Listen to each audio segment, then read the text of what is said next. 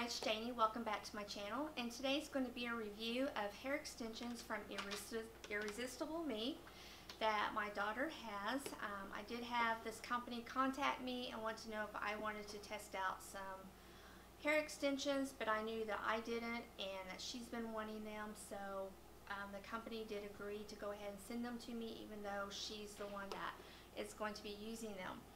Um, the color that we picked is honey honey blonde. We got the 14 inches in length in the 20 grams. And the way that they were shipped, they were shipped in a double pack like this. And the small pack here is where your trial or your testing strand was at to see if the color matched. And then your full um, hair extensions was in this side. There will be in the description box a 20% off um, coupon code for you to use if you want to place an order. Um, she did have them styled or trimmed today, but I do have some pictures that I'll be inserting of um, what they look like before she had them trimmed, also what her hair looks like before she has extensions in so that you can kind of see how they look. Um,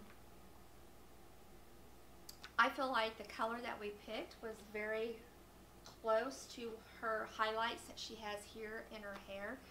And um, I think they look very natural. They feel very nice. They're very soft. They're not coarse.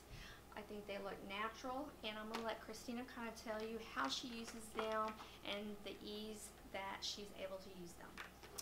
Um, in the pack you get two three clip um, extensions, you get four two clip extensions, you get this really big thick four clip one. Now I'm talking about thick. It's, it's amazing. And then you get two single clips. And I don't use the two single clips, but I use everything else in my hair. And the clips are amazing. Um, they have little teeth. I'll show you what I'm kind of talking about. You can pop them in and you kind of have a curved so it really grabs onto my hair and they lock in. I have three kids. They're always pulling on my hair. My hair's always getting caught, whatever. They don't come out and I don't have to overly tease my hair for them to stay in. I can just put it in my hair without teasing and they stay in, which is amazing. Um, I like the feel. They're easy to put in, easy to go. And I have, you know, my natural hair is about here and it goes red to this blonde color, you know, on my real hair. So these blend in really nicely and I really like them. So like I was saying, I think they feel very, very smooth um, and soft. They look very real and natural.